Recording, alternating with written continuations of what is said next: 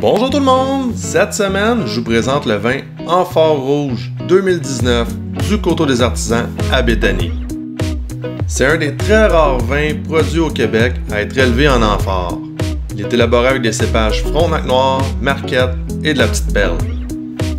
Au premier nez, on retrouve des arômes de fruits rouges comme la groseille et le cassis, mais aussi des arômes de mûre, de poivre noir, de poivre rose, de légères notes végétales et herbacées.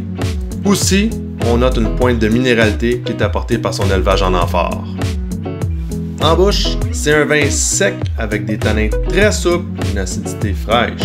Il est léger en alcool, il a une bonne longueur en bouche. C'est un vin qui peut très bien accompagner les tartares de viande rouge en entrée. En repas, des plats de viande braisée vont bien s'accorder aussi. Mais si on désire pousser l'accord vin mais encore plus loin, suggère des plats de cuisine marocaine, cuits en tagine. La tagine va rappeler la terre cuite de l'élevage en amphore. C'est une cuisine où on retrouve beaucoup d'épices et de légumes, alors vous allez retrouver certains des mêmes arômes qui se retrouvent dans le vin. Sa fraîcheur va aussi aider à trancher la générosité de ce type de cuisine.